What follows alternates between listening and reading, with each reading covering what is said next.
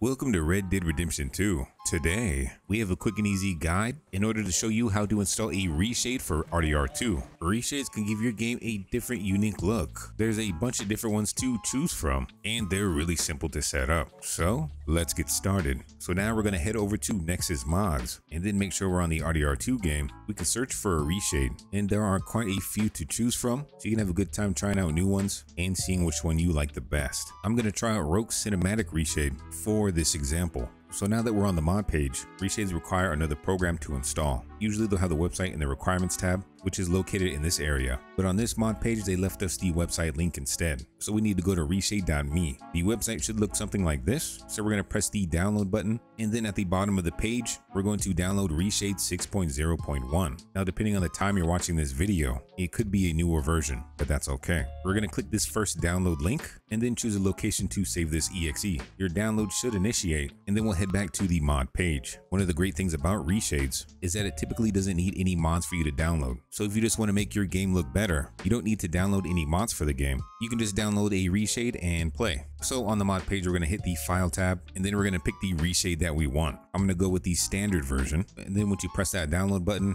your reshade file should be downloaded. Now we're going to find our Red Dead Redemption 2 game folder and click inside of it. Now with the reshade program we installed, we're going to double click inside of it. You'll have a program window pop up and you need to find the game directory in which your RDR2 is installed. So since I have a bunch of different versions of RDR2 installed, I'm going to hit the browse button to make it a little bit easier. So I'm going to navigate to my game folder, find my RDR2.exe, and then press open. We've selected our game, so we can go ahead and click next. And now depending on the game you're playing, this could totally be different. Since we have mods installed and we're running on the Vulkan graphics API setting, we're going to choose the Vulkan setting. We're going to press next and your screen may turn black for a bit, asking for permission to change game files. You can press yes on that. And now we're on the install effects screen. For this, we're going to uncheck all and then you're going to press the button again to check all. So all of these effects should be checked. We're going to go ahead and press next and the reshade is going to work its magic. You can see new reshade files are being installed into the game directory. And then once you see the green check mark, you can go ahead and press finish.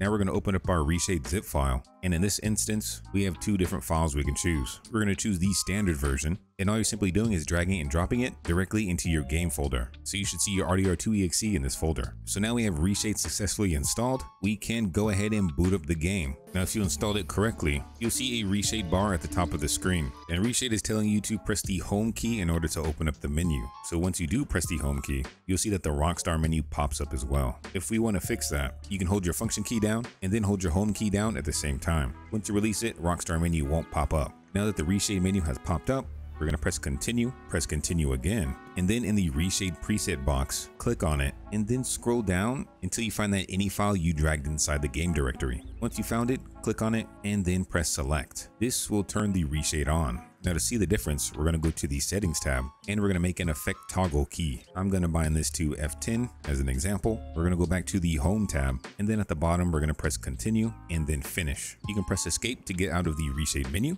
And now we have our reshade in full effect. So if we toggle it on and off with our new hotkey, we can really see the difference. And there's a bunch of different reshades you can choose from. And for some reshade presets, you can actually have a few different ones installed at the same time. You can swap between them. So I just put in the RDR Enhanced V2 ini file and if we select that, our game will look different again. Hopefully you enjoyed this quick and easy tutorial to help you install Reshade for Red Dead Redemption 2. We'll be back again with even more tutorials and showcases, so don't forget to like and subscribe so that you don't miss out. Until then though, we'll see ya.